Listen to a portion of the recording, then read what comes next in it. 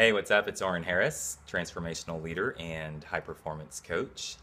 So, I want to share with you quickly on this video one of the keys to being able to perform at the highest level possible and to continue to actualize your infinite potential in your chosen game of life. There's this concept that you're probably familiar with called mind over matter, and really it points to the phenomenal power of the mind. And the mind in this model has dominion over the body, right? Mind over matter.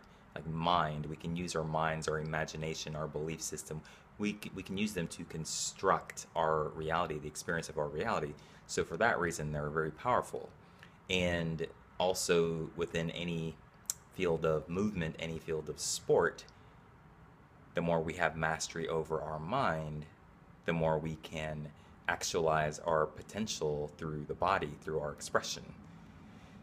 So that's mind over matter. But that's just the beginning. What's more powerful than mind over matter is consciousness over mind.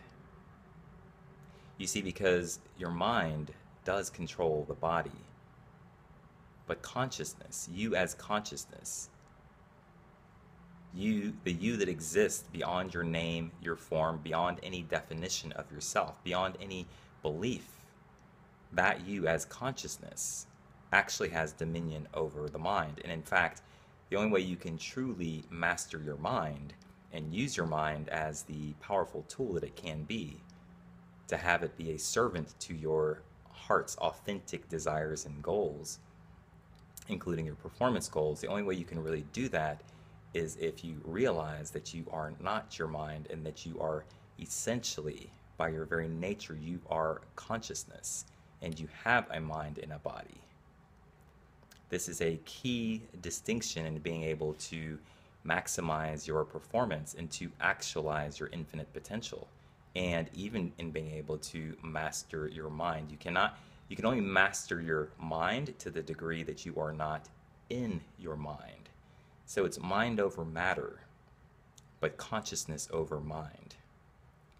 The realm of the mind, the realm of thought. Thought is very powerful.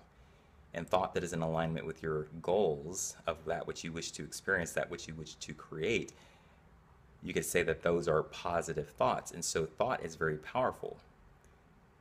But what's even more powerful in, than thought is the space that precedes thought.